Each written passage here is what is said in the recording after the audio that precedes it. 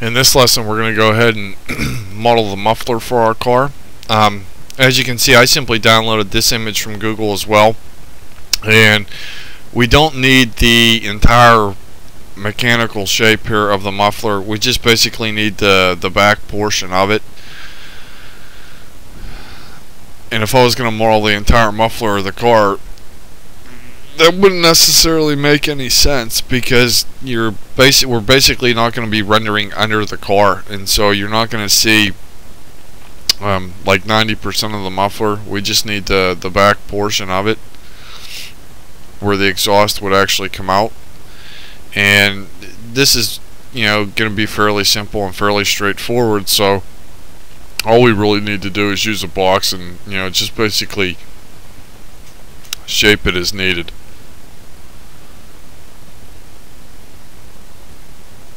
you know, a, good portion of ref, um, reference art here would actually be your own car model's muffler or your own car's actual muffler. If you just go out and, you know, basically look at it and just, you know, basically lay under the car and just see how the mechanics of the, the car muffler actually work.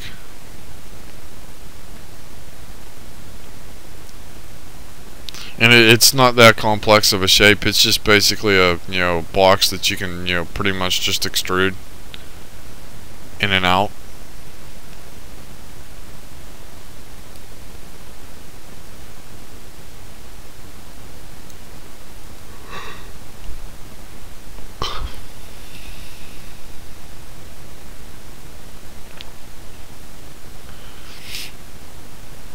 Just have to edit the shape a little bit to you know, make, make sure it's going to maintain what we need here for the shape of the muffler.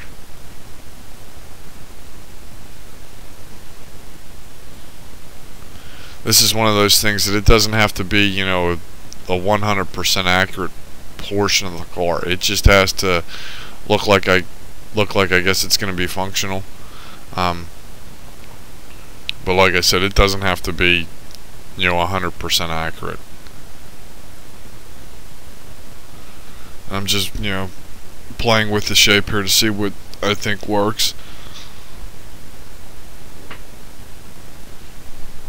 I'm trying to add a little bit of, you know, basic attitude to it.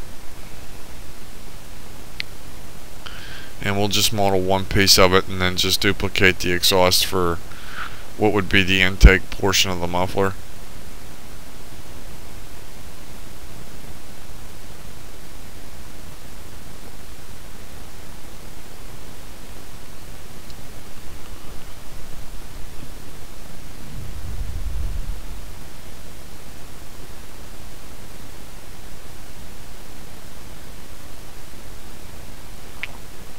And this is all just you know primary polygon shape and you know just extrude and extrude and extrude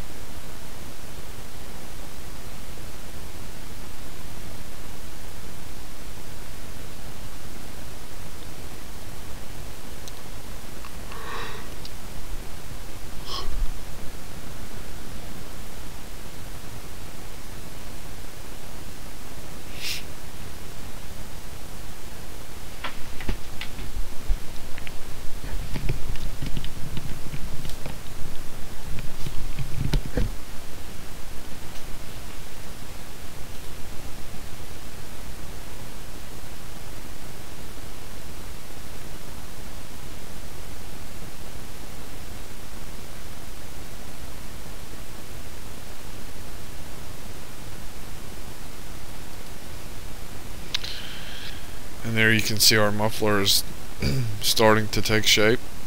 and we just need to go ahead and make the base portion for it here like what would be welded to the the actual main part of the muffler body and I'll just go ahead and duplicate that over for the other side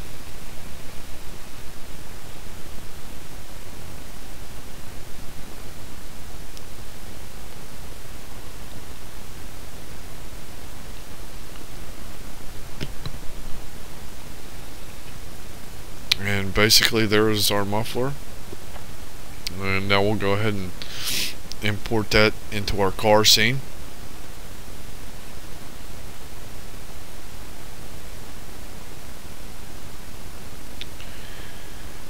And just try to place it properly.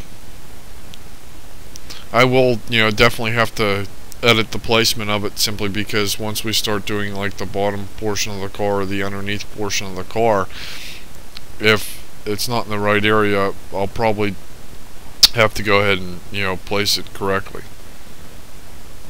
And I'll probably have to change its, its placement here a little bit.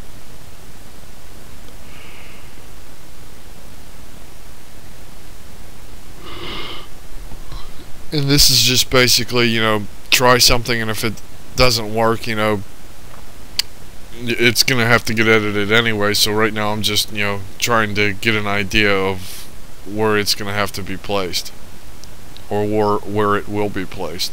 And, you know, do I want one or, you know, do I want two under the car? Because, you know, we didn't have a, a, a back view for our concept art, and so, you know, the back portion part of the car here is all going to be you know, basically what I want to put into it.